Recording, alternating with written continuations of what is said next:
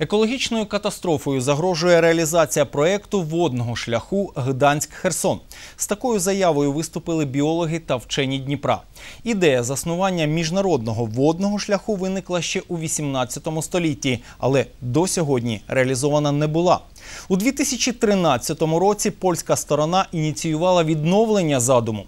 Міжнародна комісія у складі Польщі, України та Білорусі організувала підготовку проекту.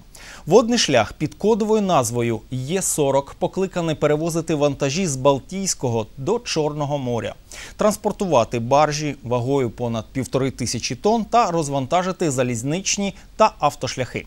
Але разом із тим, на думку біологів, проект загрожує забрудненням річок нафтою та мулом, вимиранням рідкісних видів риб, фіто та зоопланктону.